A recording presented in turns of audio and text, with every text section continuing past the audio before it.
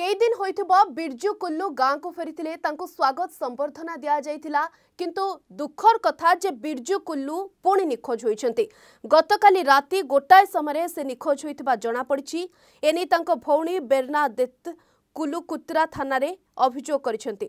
ତେବେ ବେର୍ନାଙ୍କର କହିବା କଥା ତାଙ୍କ ଭାଇ ନିଖୋଜ ଅଛନ୍ତି ପାକିସ୍ତାନ ଜେଲ୍ରେ କୋଡ଼ିଏ ବର୍ଷ ରହିବା ପରେ ଗତ ଅକ୍ଟୋବର ଛବିଶ ତାରିଖରେ ମୁକୁଳିଥିଲେ ବିର୍ଜୁ। ଆଉ ଗତ ନଭେମ୍ବର ତେର ତାରିଖରେ ଜନ୍ମ ମାଟିରେ ସେ ପହଞ୍ଚିଥିଲେ ବିର୍ଜୁଙ୍କର ଘର ସୁନ୍ଦରଗଡ଼ ଜିଲ୍ଲା କୁତ୍ରା ଥାନା ଜଙ୍ଗରପଡ଼ା ଗାଁରେ।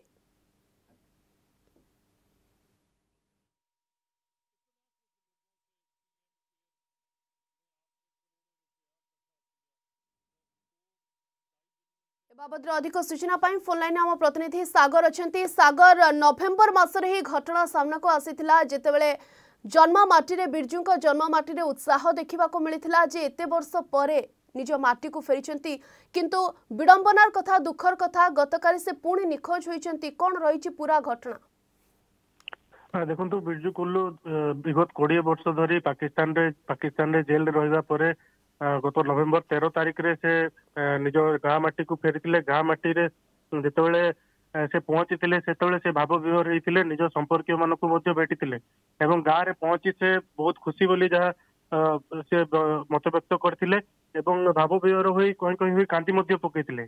କିନ୍ତୁ ଅ, ଅ, ଦି ମାସ ମଧ୍ୟ ବିତି ନଥିଲେ ବର୍ତ୍ତମାନ ଜାନୁଆରୀ ଏ, ଗତ କାଲିଠାରୁ ସେ ନିଖୋଜ ଅଛନ୍ତି। ଏହା ଅ, ନିଶ୍ଚିତ ଅଞ୍ଚଳରେ ଚାଞ୍ଚଲ୍ୟ ସୃଷ୍ଟି କରିଛି। ତାଙ୍କର ଅ, ସମ୍ପର୍କୀୟ ଭଉଣୀ ସେ ଆସି କୁତ୍ରା ଥାନାରେ ଅଭିଯୋଗ ଦେଇଛନ୍ତି ଏବଂ ଯାହାକି କିଛି ଦିନ ପୂର୍ବରୁ ଏକ ଗୁଜବ ଶୁଣା ଯାଉଥିଲା ଯେ ବିର୍ଜୁ ପ୍ରକୃତରେ ନିଜ ପ୍ରଶାସନ ଯୋଉ ସମ୍ପର୍କୀୟ ଭଉଣୀଙ୍କ ଘରେ ତାଙ୍କୁ ରଖିଥିଲା ସେଠାରେ ସେ ରହିବା ପାଇଁ ଚାହୁଁନଥିଲେ। ଅନ୍ୟ ଜଣେ ସମ୍ପର୍କୀୟଙ୍କ ପାଖରେ ସେ ରହିବା ପାଇଁ ଚାହୁଁଥିଲେ। ତ ଏଇ ଘଟଣାକୁ ଆଧାର କରି ସେ ବୋଧେ ଅସନ୍ତୁଷ୍ଟ ଥିଲେ। ସେଥିପାଇଁ ସେ ଘର ଛାଡି ପଳାଇଛନ୍ତି ବୋଲି ଯାହା ଅନୁମାନ କରାଯାଉଛି। ଏ ଦିଗରେ ମଧ୍ୟ ଅଧିକ ପୁଲିସ ଅ, ଅଧିକ ତଦନ୍ତ କରୁଛି କୁତ୍ରା ଥାନା ପୁଲିସ। ଓକେ ତାଙ୍କର ଭଉଣୀ ବେର୍ନାଙ୍କର କ- ପ୍ରତିକ୍ରିୟା କ'ଣ ରହିଛି? କାରଣ ସେ ହିଁ ଅଭିଯୋଗ କରିଛନ୍ତି ବା ଏତଲା ଦେଇଛନ୍ତି।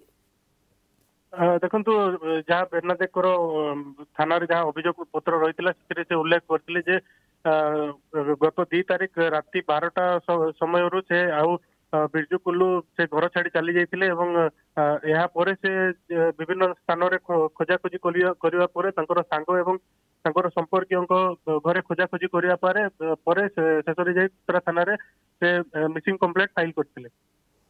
ଓକେ ଯଦି ବିର୍ଜୁ ଚାହୁଁଥିଲେ ଯେ ତାଙ୍କର ଅନ୍ୟ ଜଣେ ସମ୍ପର୍କୀୟଙ୍କ ଘରେ ରହିବା ପାଇଁ ଏବଂ ବର୍ତ୍ତମାନ ଯେଉଁଠାରେ ରହୁଛନ୍ତି ସେଠାରେ ରହିବା ପାଇଁ ଯଦି ଚାହୁଁନଥିଲେ ଇଏ ଯଦି ଆଲୋଚନା ହେଉଥିଲା ବା ଚର୍ଚ୍ଚା ହେଉଥିଲା ତାଙ୍କୁ ଅ, ସ୍ୱାଧୀନତା କାହିଁକି ଦିଆଯାଇ ନଥିଲା? ଇଏ ମଧ୍ୟ ଗୋଟେ ପ୍ରଶ୍ନ ସାମ୍ନାକୁ ଆସୁଛି।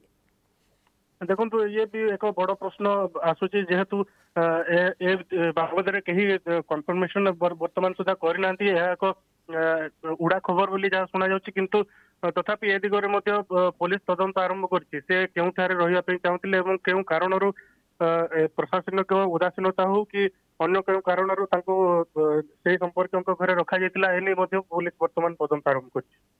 ଓକେ ବହୁତ ବହୁତ ଧନ୍ୟବାଦ ସାଗର ସବିଶେଷ ସୂଚନା ପାଇଁ। ସାଗର ଆମ ପ୍ରତିନିଧି ଯାହା ସୂଚନା ଦେଉଥିଲେ ଯେ ବିର୍ଜୁ କୁଲ୍ଲୁ ଗତ ରାତିରୁ ପୁଣି ଥରେ ନିଖୋଜ ହୋଇଛନ୍ତି। କାରଣ କ'ଣ ତାହା ଜଣାପଡ଼ି ନାହିଁ ଖୋଜାଖୋଜି କରିବା ପରେ ମଧ୍ୟ ତାଙ୍କୁ ପାଇନଥିଲେ ପରିବାର ଲୋକ। ଏବଂ ତାଙ୍କର ଭଉଣୀ ଯିଏ ରହିଛନ୍ତି ବେର୍ନା ଦେତ୍ ସିଏ ଥାନାରେ କୁତ୍ରା ଥାନାରେ ଏତଲା ଦେଇଛନ୍ତି। ଏ ଆଧାରରେ ତାଙ୍କୁ ଖୋଜାଖୋଜି ଆରମ୍ଭ କରାଯାଇଛି। କିନ୍ତୁ ପାକିସ୍ତାନ ଜେଲ୍ରେ କୋଡ଼ିଏ ବର୍ଷ ରହିବା ପରେ ନିଜ ଜନ୍ମ ମାଟିକୁ ଫେରିଥିଲେ। ଉତ୍ସବ ମୁଖର ହୋଇଥିଲା ଜନ୍ମ ମାଟି ନାଚ ଗୀତରେ ମସଗୁଲ ହୋଇଥିଲେ। ସମସ୍ତେ ନଭେମ୍ବରରେ ଭିଜୁଆଲ ଆପଣଙ୍କର ନିଶ୍ଚୟ ମନେଥିବ କିନ୍ତୁ ଆଜି ଦୁଃଖର କଥା ଯେ ବିର୍ଜୁ କୁଲ୍ଲୁ ପୁଣି ଥରେ ନିଖୋଜ ହୋଇଯାଇଛନ୍ତି।